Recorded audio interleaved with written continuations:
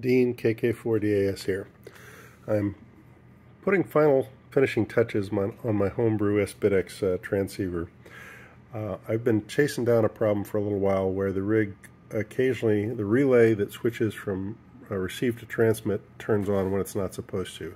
And um, I posted about this a, a, a, bit ago, and Pete Juliano had suggested um, that I replace the 2N3904 transistor with a, a TIP31C, and also that I um, increase the value of the the dropping resistor that goes to the base of the transistor from 220 ohm to 2.2K.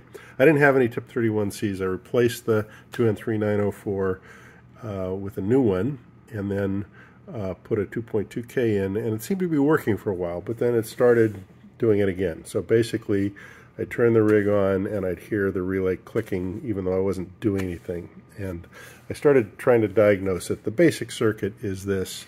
The um, Raspberry Pi has a GPIO line that is supposed to go high when uh, you go into transmit. And when it goes in high, it turns on the transistor, which turns on the relay, and that causes the plus 12 transmit to go everywhere it's supposed to go. Um, I measured the voltage on the GPIO pin and it was sitting right around 0.6 volts when it's in the off position, which is just about at the threshold of turning on the 2N3904, which explains why sometimes it would turn on, sometimes it wouldn't. Um, and so um, I went back to Pete's suggestion and I put uh, built a, a little test circuit here with a relay, and it's not a tip 31, but it's tip 29, which is pretty close to the same uh, same specs. Um, and its turn on voltage is more like 1.3 volts than 0.6. And so it should not um, be a problem. And I'm testing it right now. So it's actually in the circuit.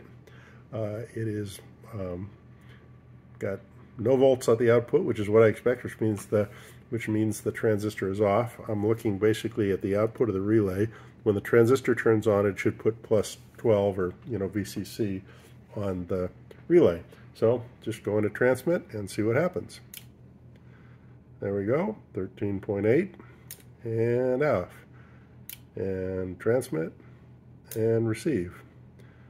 So I think all I need to do now is go back to this board and rip off this little 2N3904 and replace it with a tip 29, which I have a couple of them in the bag, and it should be good to go.